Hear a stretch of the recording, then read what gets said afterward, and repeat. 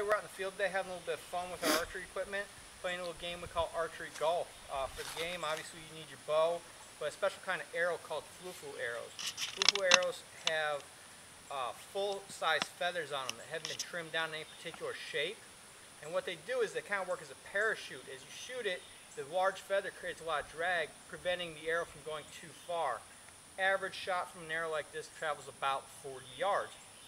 The object is similar to actual golf, as we have a target set up, in this case about 100 yards away, and whoever can hit that target in the fewer number of shots wins. Something fun, something you can obviously do with the kids and have a good time. So, let's get started. After you take your initial shot, the next thing is you go to the nearest arrow, and that's going to be your next firing line.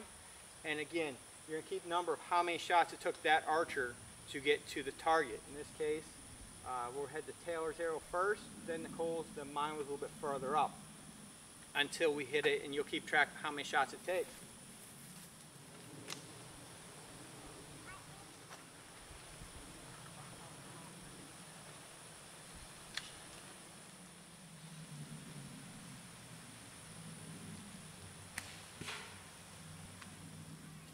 Something fun for you guys to do and enjoy with the whole family.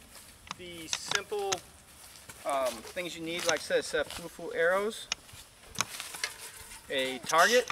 In this case, what we're using is just a styrofoam disc. And as always, remember basic archery safety. Make sure there's no one standing behind the uh, where you're shooting. Keep all your archers behind the shooter. And uh, some basic safety and simple simple supplies and you can go out here and have a lot of fun. So something worth trying.